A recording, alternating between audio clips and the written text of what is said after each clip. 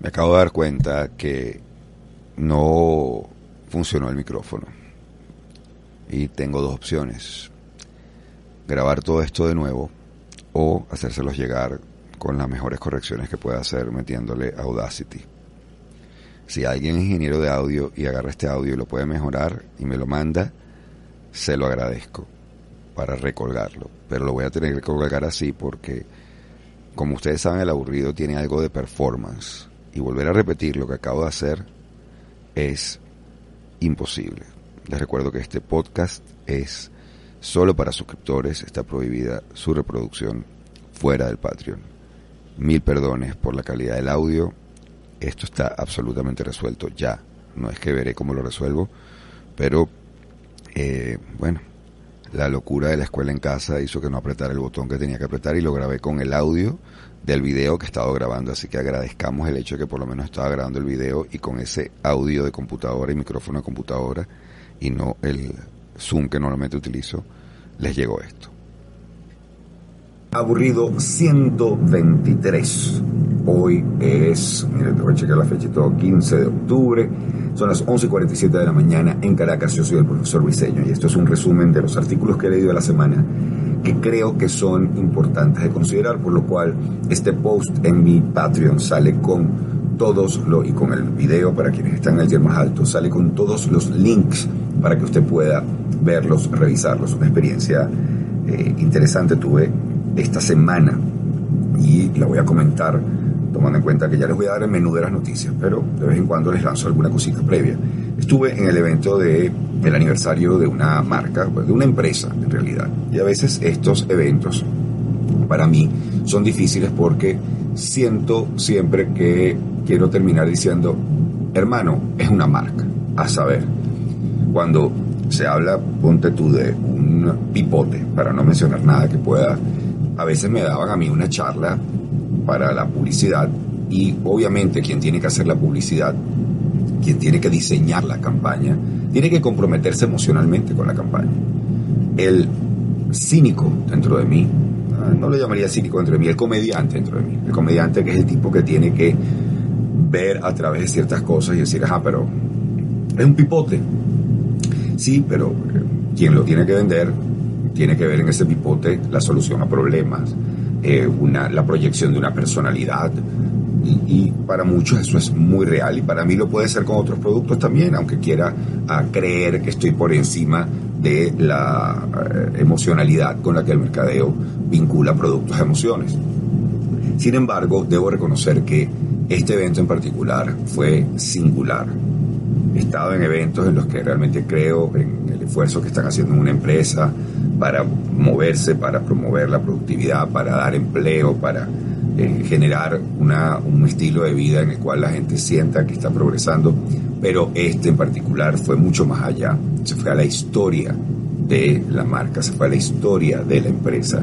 Y se fue a la historia de la empresa, la vinculó a la historia del país, la vinculó a la necesidad de una visión positiva, una visión hacia el horizonte y no hacia el pasado, y tiene con qué hacerlo que tiene con qué demostrar que eso es una visión.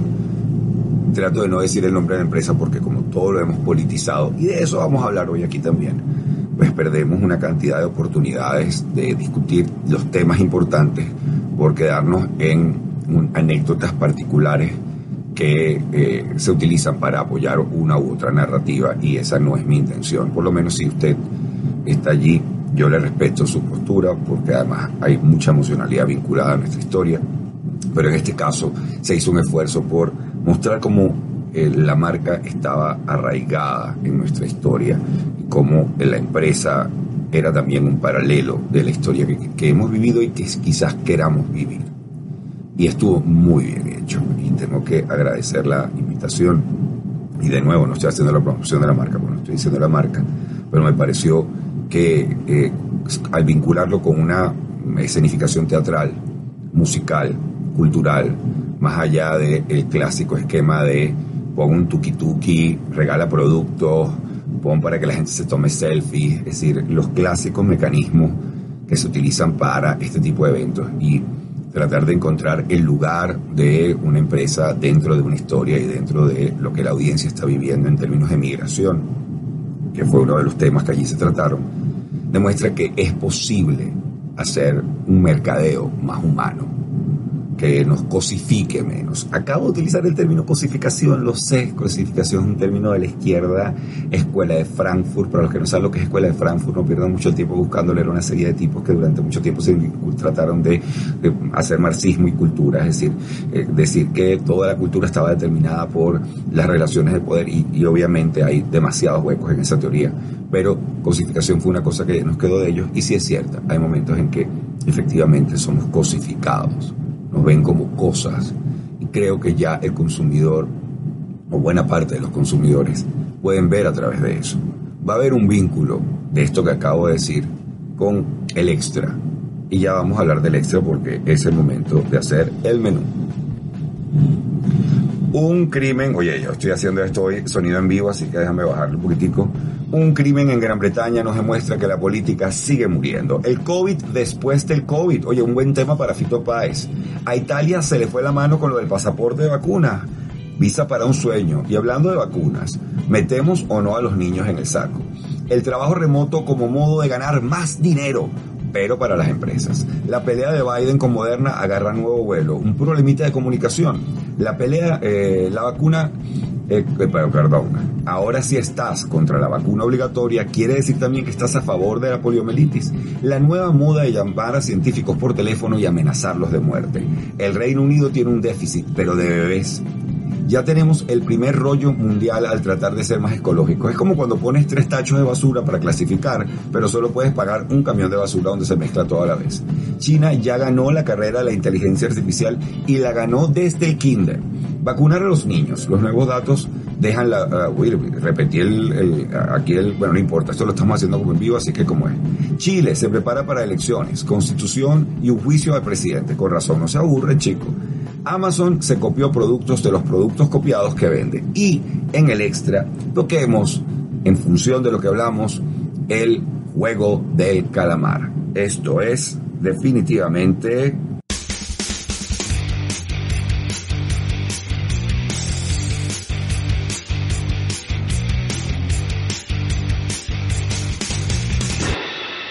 aburrido.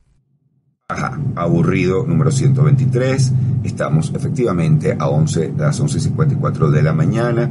Estamos grabando esto siempre como un falso en vivo, que es nuestra intención cada vez que podemos.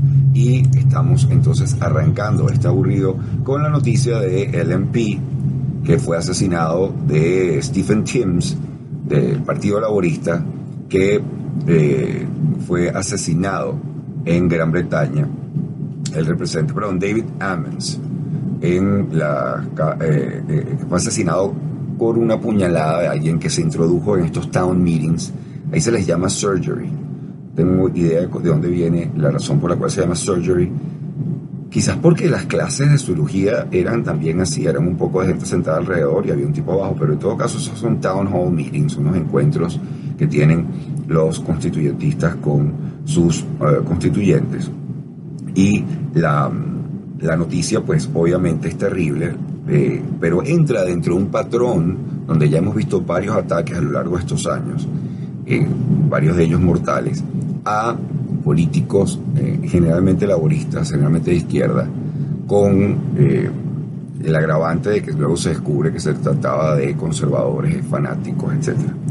Hay, yo no voy a favorecer a un lado ni al otro en esta discusión, pero esto favorece o esto respalda la tesis que, por ejemplo, Sam Harris y otros han comentado ya, que es que cuando llegas al nivel de la violencia quiere decir que el diálogo ha muerto.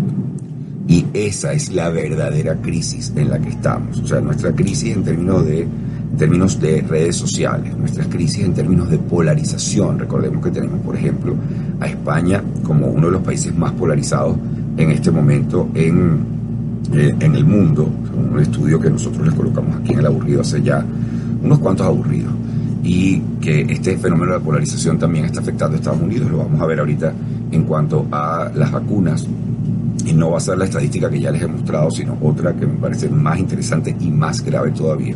Pero he dicho que hemos politizado absolutamente todo y polarizado, porque si hubiésemos politizado, es decir, politizar quiere decir que todo lo vamos a agregar a nuestra postura política. si nos vacunamos, si somos ecológicos, si eh, usamos un carro eléctrico, si tomamos leche eh, deslactosada o si somos verdaderos machos y tomamos leche de verdad. Cualquiera, cualquier tema se introduce en la discusión pública e inmediatamente es colocado en alguna de las esferas semánticas de izquierda o derecha o progres y conservadores, etcétera, eso eh, ha tenido un efecto brutal porque también hemos creado un clima o hemos arribado a un clima en el que antes estas esferas comían juntas, cenaban juntas, hablaban juntas, uno tenía amigos de una tendencia y de la otra. Y hoy en día se reduce en el mejor de los casos a familiares con los que uno hace el esfuerzo de no tocar ciertos temas, no es ni siquiera que los discuten. Y los felicito a todos los que tienen alguien con quien todavía tienen las discusiones, porque las discusiones quieren decir que no han renunciado al diálogo como mecanismo de expresión.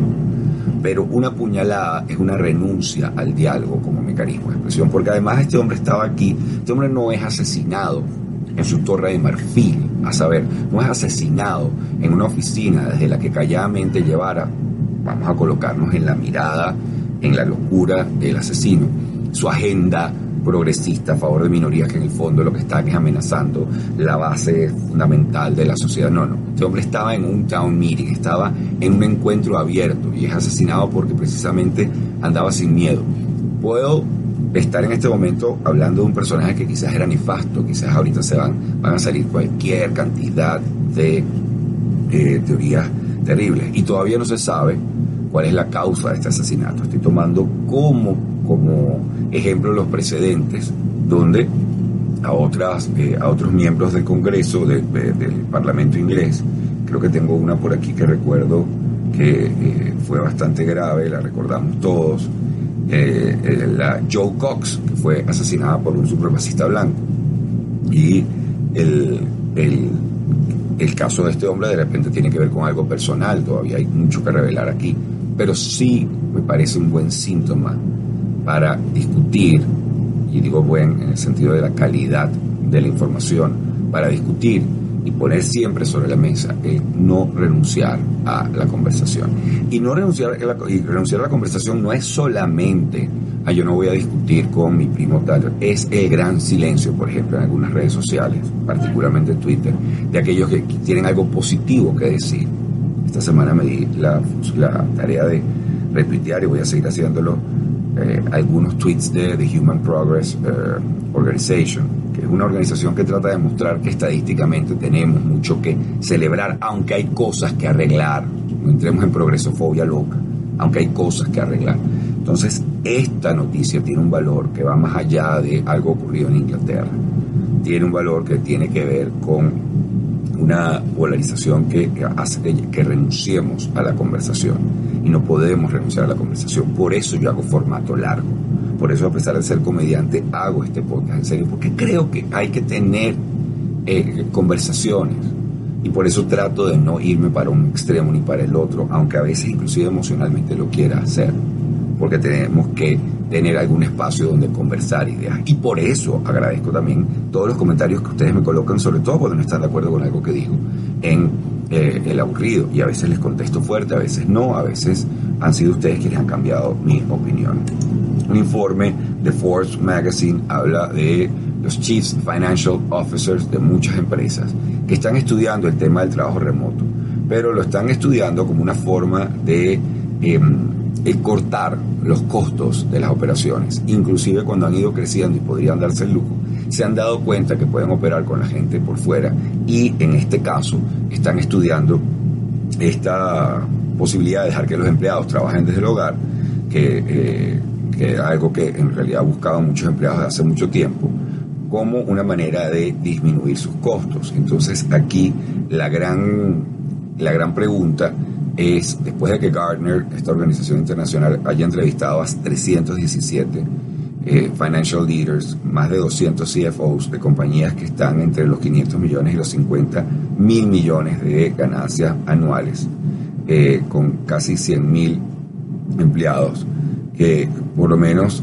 5% de su fuerza laboral eh, se va a mover de full time en office a remoto ¿Qué es lo que se piensa hacer como compensación o como atractivo para esto? ¿Te lo van a dar como, mira este super perk? ¿O va a haber entonces una comprensión de que el trabajo del hogar tiene otras cargas que como no han sido lo suficientemente estudiadas, porque este es un fenómeno relativamente reciente, ¿con qué van a argumentar los empleados y quienes defienden los derechos de trabajadores en distintas empresas?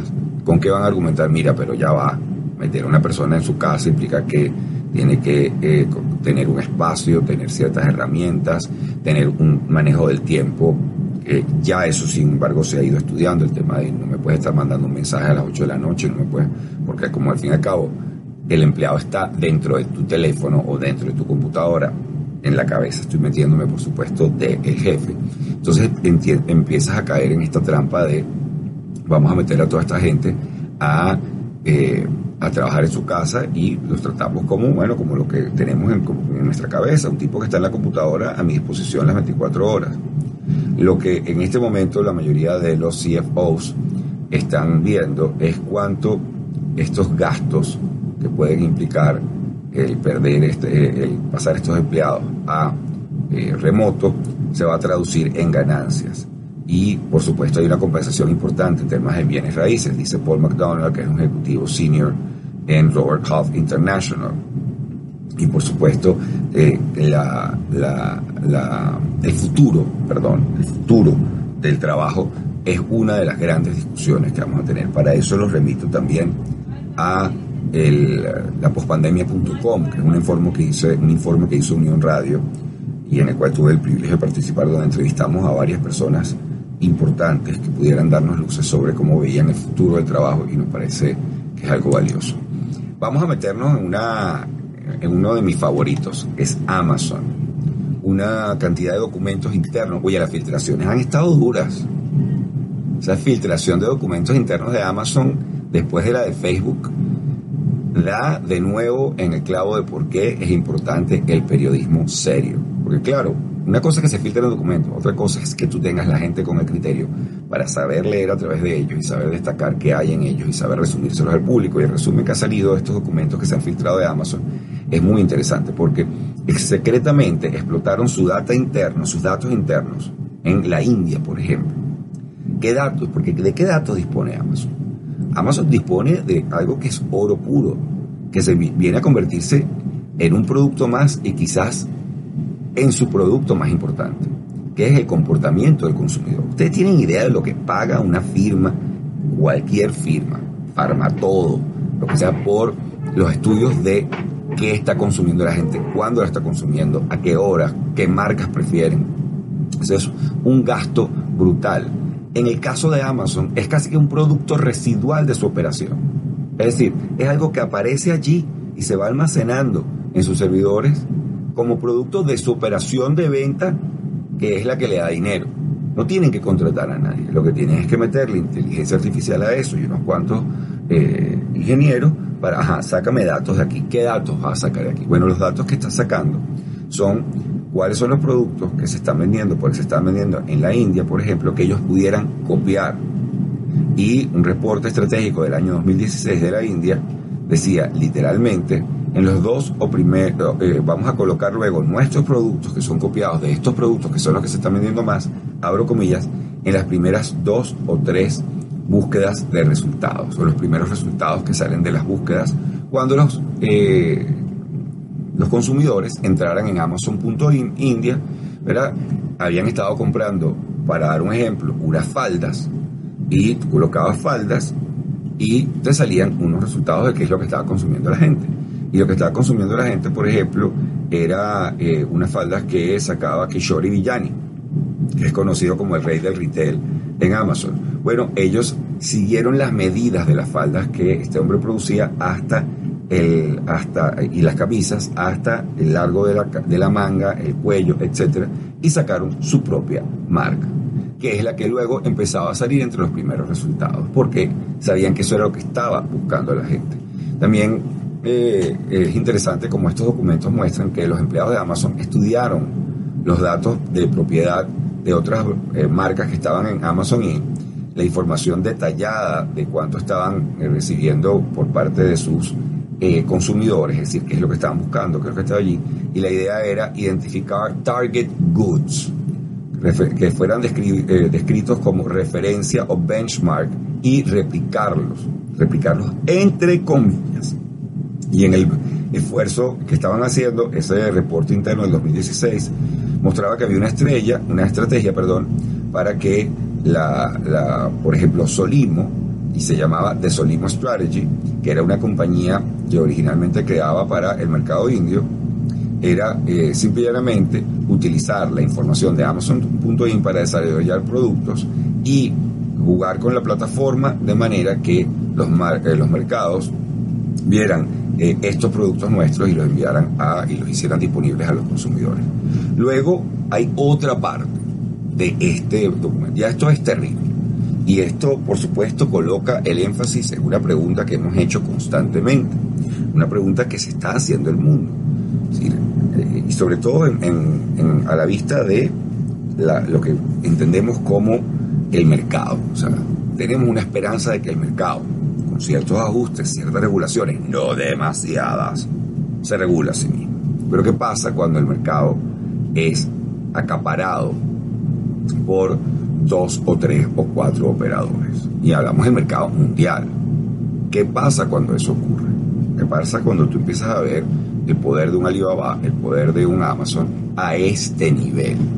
¿Qué pasa cuando esas empresas disponen además de unas herramientas digitales en las cuales condicionan nuestro consumo? De nuevo, esto es un tema que va a estar por aquí, por debajo, y lo vamos a hablar al final cuando hablemos del juego de calamar. Pero eh, agreguémosle este detalle bien interesante. En un documento que tenía como título India Private Brands Program, se decía, es difícil desarrollar la experticia en algunos productos y de, y de esa manera asegurar que podamos lograr la calidad eh, del producto referencia que estamos investigando. Por lo tanto, hemos decidido solamente hacernos socios con algunos eh, fabricantes de nuestro producto referencia. Y esto se llamaba tribal knowledge, es decir, se reconoce, porque ¿cuál sería el contraargumento? Bueno, diseño. Entonces tiene que salir otra vaina que sea mejor que Amazon. Y eso nivelará el asunto. Ajá, pero ¿cuánto necesitas para competir con Amazon? Y yo he buscado opciones cuando de no comprar por Amazon. Y hago el gran esfuerzo de no comprar por Amazon. Y en algunos casos aislados simple y llanamente porque es que Amazon me da demasiada rechera, he pagado además por no comprar algo en Amazon. Pero quien paga allí, paga Amazon. O sea, quien pierde, no pierde quizás un retailer que quería llegarme y bueno, obviamente pensó, me tengo que meter en Amazon, con todas las condiciones que esto implica, que las hemos discutido y están en este momento todavía en discusión en el Congreso de los Estados Unidos si son justas o no. O, bueno, fíjate tú, Briseño, ahí está, ¿eh? Los tipos saben que hay productos que, bueno, por mucho que tú quieras copiarlo, tú no vas a obtener el conocimiento a hacer para lograr el jabón que vende un retailer en particular, porque ese jabón ellos lo hacen con una fórmula, una web. Bueno, ¿sabes qué hace Amazon? Se asocia contigo. ¿Puedes negarte? Esta es la pregunta que hago, porque todo suena positivo hasta aquí.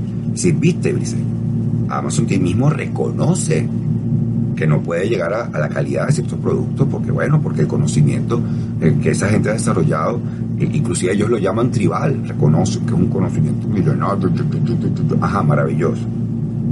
Entonces se asocian con la marca. Si esa marca no se puede asociar, puede darse el lujo de no asociarse con Amazon. Puedes tú como pequeña marca, y todo es pequeño al lado de Amazon, darte el lujo de no asociarte cuando te lo propongan para producir un producto en particular. Esa es la pregunta que que a mí me surgió luego de, leer esto. O sea, no solamente todo el tema de todo el conocimiento que les estamos entregando por nuestra forma de compra, comprando todo en el mismo lugar, sino el tamaño de esta empresa. Cuando les acerca a otra empresa, le dice, mira, yo quiero copiar tu vaina, pero no la he copiado. Porque hay una vaina que tú logras con la fórmula de jabón o con la costura que haces, que yo no sé, yo no sé cómo lo hace. Entonces sabes que me voy a asociar contigo. Vale, ¿qué va a decir el chiquito? ¿Qué va a decir Solima? Solimo, perdón. Los productos de salud, los productos para la casa de Solimo, están saliendo en el, no solamente en el sitio de Amazon de la India, ahora están a la venta en todo el mundo. Y algunos de ustedes me contestarán, Bueno, pero firma, mira cuánto crecimiento habrá obtenido Solim. Esa misma pregunta me hago yo. ¿Cuánto crecimiento voy a obtener de una asociación casi forzada? Casi forzada.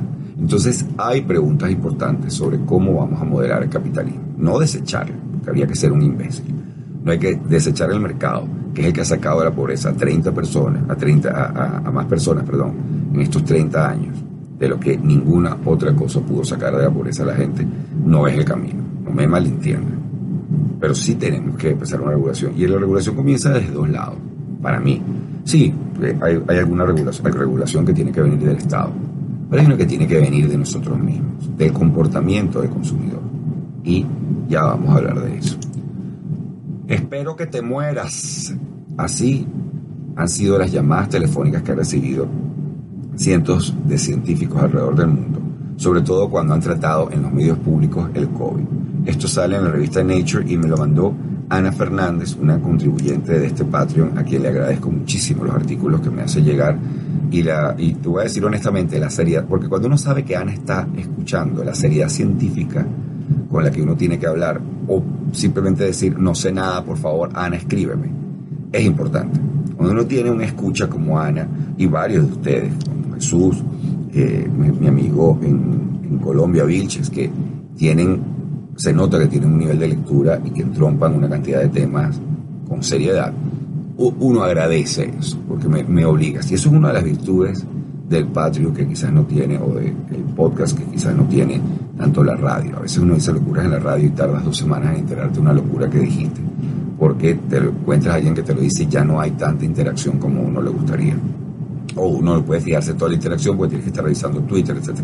Aquí en los comentarios de Patreon eh, realmente Ana coloca este video, me parece importante. Pues comienza con Kutrika Kupali, que es una investigadora de enfermedades infecciosas y que había empezado a trabajar, eh, había, se había mudado de California a South Carolina, a la Universidad Médica de South Carolina en Charleston, y había estado también trabajando con la Organización Mundial de la Salud y había tenido que lidiar con, ah, durante meses, con el tema de que le enviaban por redes sociales, por teléfono, amenazas, ya que había dado entrevistas sobre el COVID-19 y había testificado ante el Congreso sobre este tema y sobre cómo hacer unas elecciones seguras en medio de una pandemia.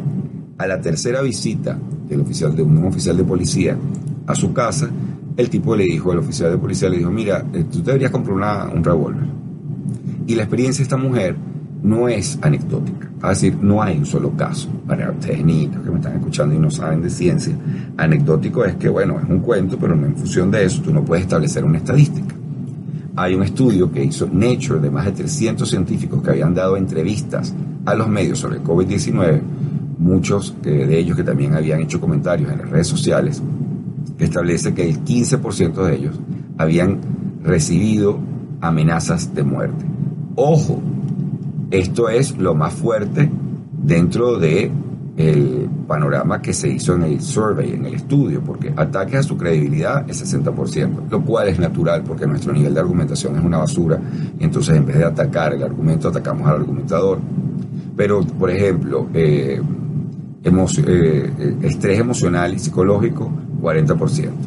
Tengo mis dudas con respecto a esto, pero como son científicos que responden, estoy de acuerdo daño reputacional 30%, amenazas físicas o de violencia sexual más del 20%, amenazas de muerte 15%, ataques físicos los ha habido, otros 15%, y los ataques físicos algunos los hemos reseñado aquí. Eh, uno de ellos, por ejemplo, bueno, tenemos Anthony Fauci, tiene un detail de seguridad para que lo siga para arriba y para abajo porque ha recibido amenazas de muerte. El jefe de asesoría médica del Reino Unido, Chris Vitti, estaba en una calle y se le lanzó un loco encima. El virólogo alemán Christian Drosten recibió una, un envío con una pequeña botellita eh, y un líquido azul que decía positivo y le decían, Ve, tómatelo. Y bueno, recordemos el caso del virólogo belga Mark Van Ranst, cuya familia tuvo que prácticamente entrincherarse con su marido protegido por la policía porque había un, disculpe que me ríe, esto terminó en una tragedia, pero entiéndase que esto es, las cosas de Bélgica son las cosas de Bélgica, Bélgica a veces es como el Maracaibo de Europa. El, había un, eh, militar, entrenador de eh, fuerzas especiales, que se había agarrado un pocotón de armas de un arsenal y había dicho yo voy a ir a matar a este tipo. Ya había tenido, ya había hecho amenazas de muerte por Facebook y el ejército no había hecho nada, nadie había hecho nada porque bueno, es Bélgica pues. Entonces, sí sabemos que es muy pesetero de nuestra parte, pero del dinero se vive. Así que recuerden que el material extra está en patreon.com slash profesor Briceno, donde también está el podcast aburrido, exclusivo para la gente del Patreon, y otro material. Métete, después vemos.